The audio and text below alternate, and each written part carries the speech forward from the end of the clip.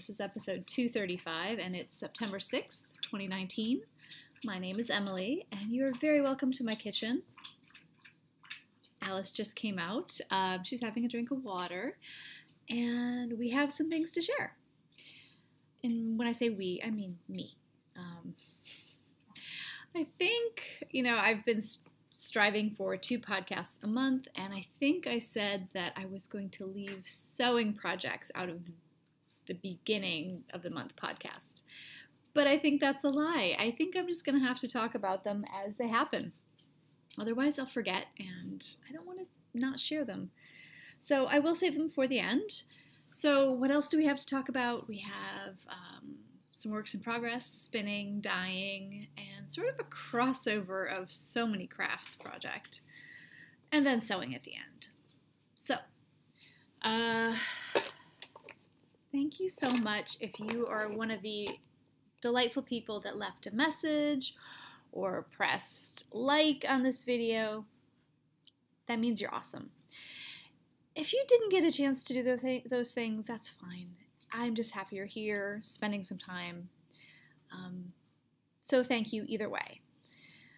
We do have a knit along still going on, and actually, we've got about a month left. It's the Wallin along, hashtag Marie Wallin Cal, and my work in progress is still my project for that. So let's just get into it. Um, this is the Yell sweater. I've got it in a lovely woolly thistle bag this has just been, I have not had a lot of knitting time. And what knitting time I do have has been on this. There have been days when I've knit maybe fewer than 100 stitches lately. It's been very busy, um, which I do not like, but it's kind of the nature of the beginning of the school year. So I look forward to more cool, calm weather like today, where it's kind of overcast and cooler where I can settle in and knit. But I've, yeah, here's what we have so far. Let me show you. Um, this is knit out of Jamieson's of Shetland Spindrift, two-ply Spindrift. Um, I feel like it's useful to talk about the Jamieson's yarns as, since they're two different companies, they can be confusing because they both have Jamieson in the name.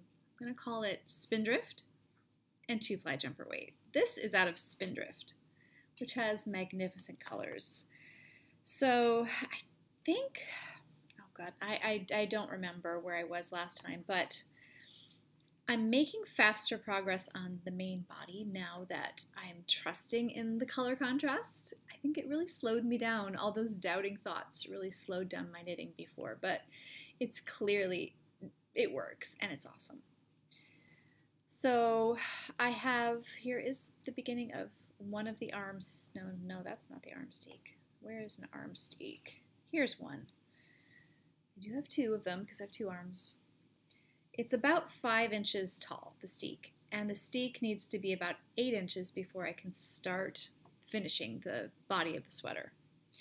Then I cut it open, and then I make sleeves, and yeah, hopefully it'll go quickly when I get there. No, I'm not letting you out none of that. So really, I just need to finish one more main chart repeat and I should be ready to start finishing the top. Doing the shoulders, as it were. So there's the yell. I'm in love with it. And I feel like I need to buckle down. I need to buckle down on this sweater. Sadly, I will not be going to Rhinebeck I, I, will not be there to see any potential Marie Wallin sweaters, but I hope you send me pictures and um, tag me on Instagram, where I am Fibretown with an RE. So the other work in progress is just a humble sock.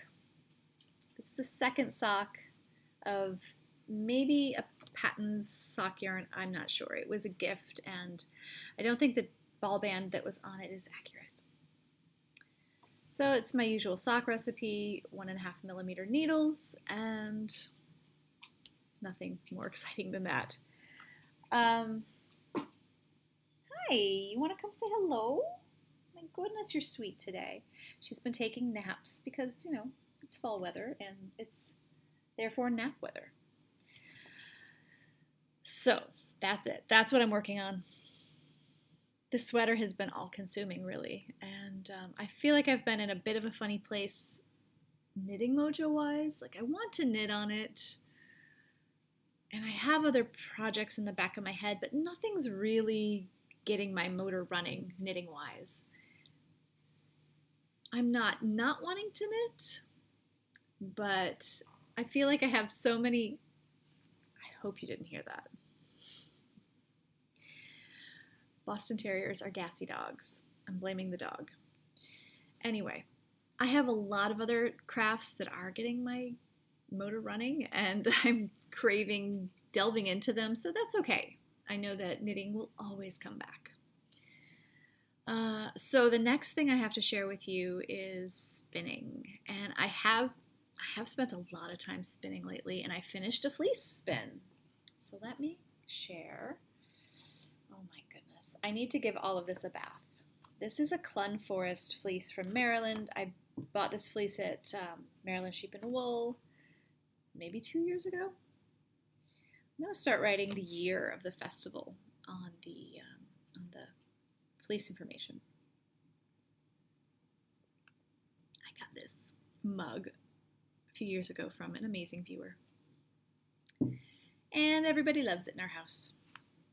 I like to drink water out of it. Also pickle jars. You knew that about me. Clun Forest. It needs a wash. You can see there's some twisty energy, especially in this one skein. Every everybody else is pretty calm, except for this guy. This was such a fun spin. I didn't really stress about consistency. And it was just very pleasant. Um, I have about a thousand, just under a thousand yards of the plain white. It's a two ply It smells really good. Sheepy, sheepy, sheepy. And then, of course, I've shown you some of these. These are smaller skeins that I plant dyed using marigolds. Fresh indigo one dip, which it's a very pale mint. You can see it a little bit better there. Fresh indigo double dip and weld, everything from my garden the weld. I really love the weld. And my understanding of the weld plant is that, well, right now I'm just thinking there are caterpillars eating my weld. They really think it's tasty. Um, it's a perennial, and from what I've read, this is the first year I've had it. That's the year when you can use the leaves to dye. The second year of the plant life, um, it'll set seed and you can use that seed for obviously more plants, but you cannot use the leaves to dye. That's what it says in the source that I have. It's a bit of a bummer. But, oh yes. So, I'm thinking a colorwork sweater of some sort. I really will have to swatch and see what this gauge comes out, how it comes out. I, I, I'm sure it will vary through the fabric just because the yarn is a two-ply that's quite inconsistent. Um, I really think it's lovely. It's lofty. I spun it very woolen. It was a woolen prep. I made bats on my drum carder and then I spun it with plenty of air. Oops, sorry. So I think the white yarn, hi baby, you want to come up? Hang on. I think the white yarn is going to be dyed with acorns. You, you stay, you wait. I have a stand of oak trees in front of my house. And this book, Wild Color, um, yeah, these are the colors you can get from the galls, which is basically a parasitic growth where sort of a wasp causes the tree to do that. But look, some colors you can get with acorns. I'm very interested in this one, which I think might have an iron modifier. I think a brown sweater, or even like that, or that even, would be great with these colors. I like brown sweaters. So, oh, you've moved don't sit on that. It's not for your booty to sit on. Come here. Oh my gosh. Oh, oh little mommy. This is my cat dog. She's very warm. Where have you been napping? There's no sunspot. Have you been under blankets? She's a little hibernator. So that is what I've got going. Oh, yes, that's what I've got going on spinning wise. And now I need to I need to wash my Hog Island fleece that I got at this year's Maryland. I haven't even opened the bag since I bought it. It's a pretty grimy fleece too. so yeah, maybe this weekend I'll start washing it. I have baskets now that have been freed up from my Jacob and from my Clun Forest. Hey, you're very smelly. Why don't you get down? No kisses, no kisses. Hey. What do you think that's about? Hey, look up here at least. Look. So, she was just laying down on my some woolly work that I've been doing, which is not cool, Alice. All right, so I think I'm going to start working on this. This is a Coopworth fleece that is super gorgeous. Um, the other option is this is this one. It's a Perendale cross, I think. Maybe it's just Perendale. Think this guy is going to get worked on. I'm going to comb these. And there's still a bit of lanolin in here. I think I'm going to, what I'm going to do is put a heating pad on the locks I'm about to comb. And that will sort of liquefy the lanolin a bit. It should be a little easier to work with then. Uh, and I think that's actually the perfect yarn for a Siri cardigan, or perfect wool, perfect color, perfect luster. Um, this is about five inches staple length. So that's the plan there. I had thought I was going to use my old Centrum maybe for a Siri, but I have two colors and I think I want to make the Tensho pullover. That was the yarn I asked for um, opinions for patterns. Someone said Tensho and I was like, yes, it's gorgeous. T-E-N-S-H-O by Beatrice Perron Dahlen. You like this, boo-boo? So I have to get you down because I have to show some Coopworth yarn that I dyed. I dyed it with marigolds and just a few coreopsis thrown in there. Oh my gosh, it came out so yellow. Do you like this tone of voice? Oh my gosh. Oh my gosh, this yarn is super yellow. It's Coopworth yarn from Solitude Wool, which is a local concern to me. I say concern because they acquire mid Atlantic local and mid Atlantic wool and have it spun into breed specific yarn. I love this Coopworth, and it's a sport weight. I've got a sweater quantity. It's maybe 350 yards times four. Whoa, super. I mean, it'd make a very sunny pullover or sweater. Okay, you're getting down. Bye. Oh, so I don't know if I want this to stay this color. Now I forgot about this as it was drying and I left it out in the sun. You can see that it really does fade like any anything that's dyed would if you left it out in the sun for hours. But I think putting it in an indigo bath, and this was actually proposed by Solitude when I tagged them in my Instagram post. Like, gorgeous color. If you want green, maybe you should put it in indigo because yellow and blue make green. So I think this is going to sit in my stash, this color, like as this color for a while. And I dyed a little bit of two ply yarn I had just left over. Threw that in the bath as well and didn't take the color is quite like this. But what would happen if I did a fresh indigo bath? I don't think I have enough fresh indigo, frankly, to make a big difference. But I'm curious, so I might try a little fresh indigo on this guy to see what happens. Maybe extrapolate results. Maybe I'll cut little bits of this one and put it in. So just just thoughts and ideas. Because green green sweaters are also my thing. Um, what else do I have to share with you? Well, have my crossover project. I'm calling this my crossover project because as I was trying to think about where to put this in the lineup of things today, um, oh, and I actually also dyed some fleece This is Hilda from Serenity Farm. She's a Corriedale ewe. I put her in the leftover marigold bath, and um, I'll eventually card this up with some Hilda that I put in a fresh indigo bath. See what happens. I have a, a huge quantity of Hilda already spun up into yarn that that will be something amazing someday when I find the right project for it. So, the crossover. The crossover. You're on my crossover project again. That's because it's wool and she's a wool loving dog. I cannot fault her for this.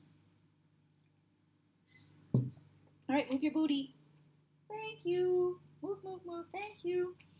This is. Don't know why I'm laughing about it. This is my fleece to jacket project. You guys know about this project, right? Icelandic fleece, bought at Rhinebeck, washed, carded with the tog and the thel together, washed, carded, spun, dyed, woven, dyed again, as well, that is this part right here as well as the sleeves, which are a blend of, I think, Gotland and um, Border Leicester Cross. So then it's all been cut up and sort of franken-pieced. This is the Verona jacket by Tessuti Patterns. You can tell that I took, I made a bit of a jigsaw puzzle out of the back because my hand woven fabric is narrow and it actually came out fine. Just, it's kind of interesting, right? In the back, I had, instead of just one piece cut on the fold, I've got two pieces here. And this color is not at all what it is in real life. This is the strangest looking color. This is not what it looks like either. But ignore the color. It's got a beautiful boucle texture You can probably see that because of the tog and thel being woven together. So two pieces here and one, two, three pieces here. Now the Verona jacket is meant to be out of boiled wool with the seams on the outside and sort of exposed. I chose not to do that. I chose to keep my seams on the inside. And I used my tailor's clapper quite a bit to um, sort of to put on the seam as after I pressed it to maintain the heat so that it would the seams would stay open better. Um, so the jacket, I also did a little franken piecing right there. Where else? The seams line up really nicely. The fronts are just cut as is.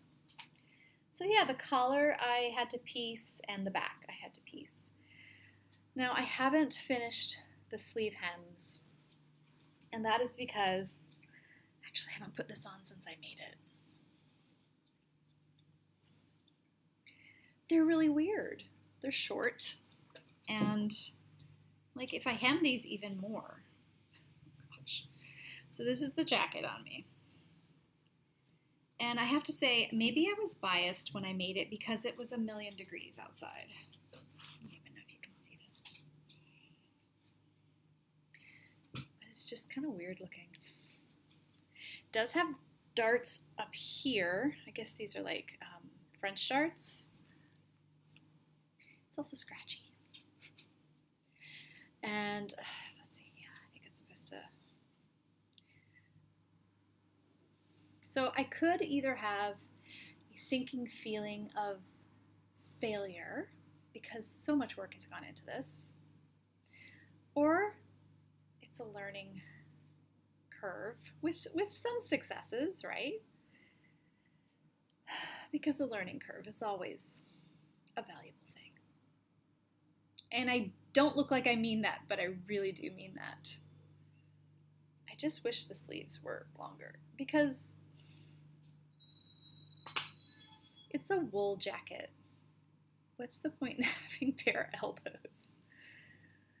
But I do have to decide what to do with these cuffs because this, the sleeve fabric, frays. It is, no matter how many times I washed it in hot water, tumble dried, it would not felt all the way.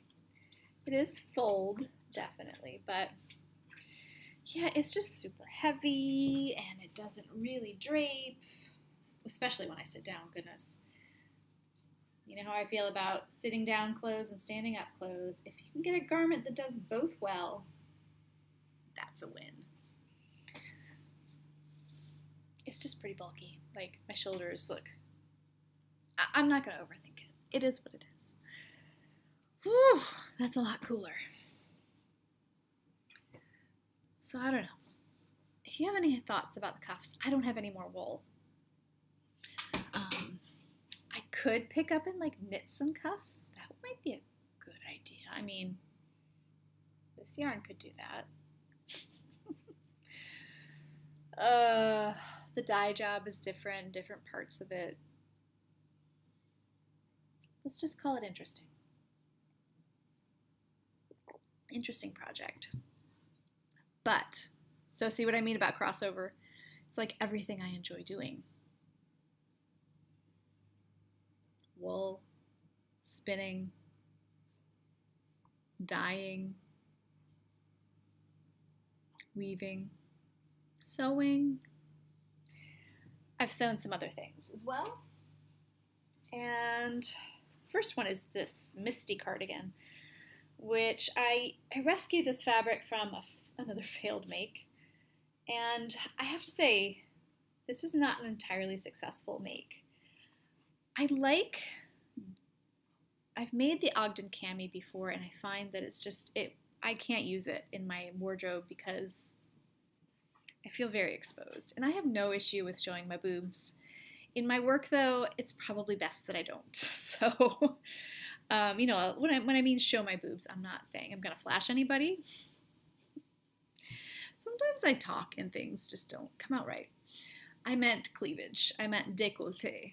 But I feel like the Misty Cami does a little bit, gives a little more coverage. This is a cotton voile, which incidentally, I love the way its cotton smells sometimes when you press it, mm, especially voile and um, lawn. So this is a pattern, a new pattern. I think it's the first pattern by is it So Altered Style? And at least one of the women in that company is uh, local, um, local to me. So it's kind of fun to support them. And I think this pattern has possibilities. Um, I think everyone has, and it has a dress version as well. I like the back. And it has multiple ways to configure this, um, many, many ways. The facing, I think next time I might try just bias binding, to tell you the truth. But the main issue is this. The width of the strap doesn't match the width here. And I don't know if maybe I, I think it's my, I've probably misinterpreted or misread something. And it's like that on both sides. So, I don't know. Maybe I folded down the strap too much, like too narrow, too narrow a width. But I will revisit that, and um, I think it has potential to be a good wardrobe piece. The second thing I made, and I think now I understand. So I'm sitting here, and this is too much information, but I'm like, did I put on deodorant today? And I, I'm having to stop myself from smelling my armpits. No, it's this shirt that has been worn already by my husband for probably a 12 hour workday. Um, this is the Fairfield, sorry. This is the Fairfield button up by Thread Theory. And I made him a really amazing shirt. If I do say so myself. It is not without its issues. Um, the plackets are a little bit, he rolled up the sleeves, the plackets are not perfect. But at least I did them on the right side of the sleeve this time. See the plackets right there?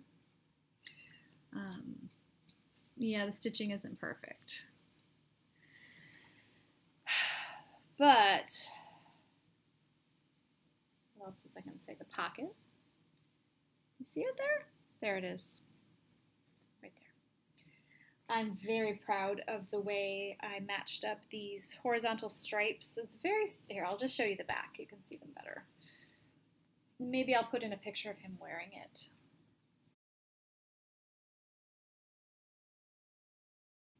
So it's this brown paisley with black accents, and you can see here, stripe, stripe, stripe, stripe. So they all match in the front. Sadly, not too terribly well on the sides. There's a little bit décalé, a little bit offset. Um, but in the front, when it's buttoned up, they match. So I am pleased with my work there. A strange thing happened with this fabric, which I got at Fabric Place Basement um, in Alexandria, Virginia, which is an amazing store. But the thing that happened was, as I was doing the last cuff, I noticed, and I have it here for you, because I had to take it off. It started to, the fabric started to shred. And I actually tried to put some fray check. See that right there? How weird is that? Yeah, that was not the greatest top stitching either. But I was like, what? And then as I, as I have to redo this cuff. So I started to take the cuff off and the fabric above the cuff also had a hole in it. So I had to fold that over twice to provide a stable, non-shredded fabric to attach the next cuff, which meant that that sleeve was maybe a half inch shorter than it should have been.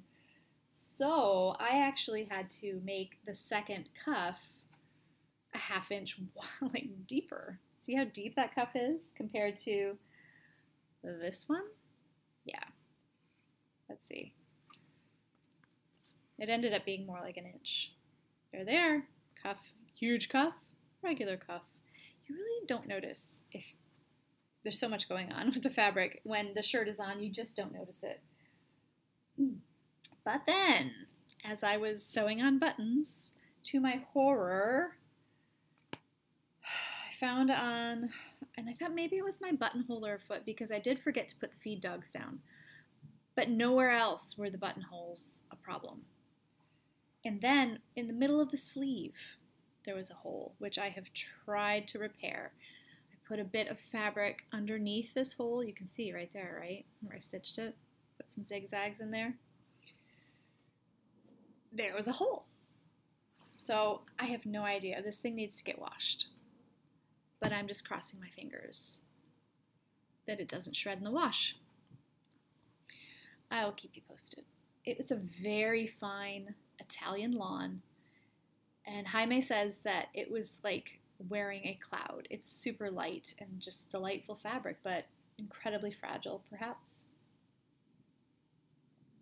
Or faulty? Seems more like it to me. So the last thing I have for you today is another sewing piece. I'm just smiling because I finished this today. And you know what? I'm going to pause and put it on and show you. Redo my hair. This is another Cielo Cielo top, and it's not been pressed.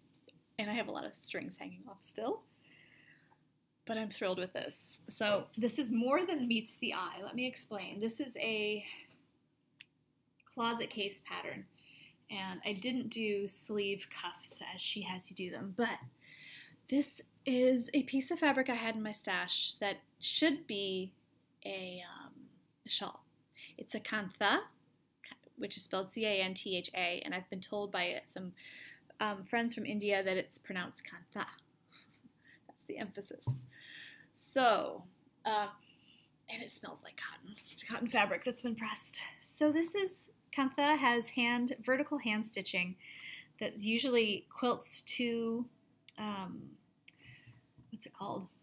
Two layers of fabric together. So this piece right here I love that it's got these vertical elements and then horizontal one, which I was worried that this would be weird, but I think placement wise, but I think it works. I think I like it. Then I've got a little bit down here as well, and you may have gotten a sneak peek because this baby's reversible. Yeah, the sleeves need some pressing along the seams. Um, so let me pause again and I'll show you the other side. Ta-da! So this is the reverse and this is a patchwork, obviously. This is all hand stitched together. Then I machines, I cut it up and then machine stitched it, obviously. Um, here's the back, a little more neutral. Um, I didn't really plan the placement of the pieces. I just cut where I could cut to make this shawl actually into a top. And the reason I cut it up is because I, I'm just not going to wear this. It's not functional as a shawl for me, but as a top, it's super functional and I love it. Um, so I think kantha can also be like these, I've seen them also where it's like stitched in spirals. So I don't know that the vertical thing is a rule. In fact, I need to probably find out more about this entire subject. But I love it. I love it. Um, it's not perfect. It's got a mixture of different thread colors in it. But again, um, it's very colorful, colorful anyway. And the, the vertical threads are blue and red. I love both sides equally, I think. So because you have seam allowances on the wrong side, which should be the wrong side, you need to finish in a particular way, I was like, you could do French seams, but I was thinking I would have to, they'd have to be tiny or I'd have to stitch them down, like fell them anyway. So I kind of did flat felled seams everywhere. Don't, no, no, you may not scratch that. So this is probably not cat or dog friendly to wear. Anyway, she's trying to scratch my, my lap. I adore it. I really adore it. So, yeah, so it's um, sort of, I'm full of French words today. Coup de coeur. It was like, I loved it, so I bought it. That's why I bought that shawl. But then I realized, I was like, oh, this will look great with a little black dress out on the town. I don't go out on the town anymore. At least, not at this point in my life. I have hopes for some time, but this is what I can wear now, and I really love it. Really, really love it.